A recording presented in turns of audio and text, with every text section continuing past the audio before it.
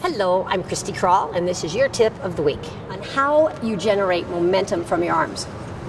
We're going to take a simple balloon, very nice and light little tricky tool, to help the kids understand the pathway of their arms when they're rotating. The arm action is horizontal, when you're rotating. It doesn't come up and down, and it certainly doesn't do this, which is one of the biggest problems that we have in the world of rotation. So handing them a small, tiny balloon is going to keep their arms so that they are rotating in a horizontal manner and the arms are moving forward and across the body as the head anchors the rest of their body. Great tip with using little balloons is they're going to help your athlete's posture.